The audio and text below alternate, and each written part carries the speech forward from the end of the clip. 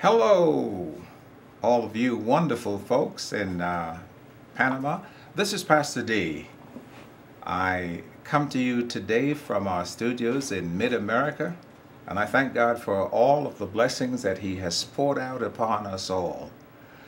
Good words have come to me from all of the leaders back back home in Panama that you're having some great, great services, and uh, God has been really, really good, and He's blessing, and He is touching, and He is empowering people to rise uh, to their full capacity and potential.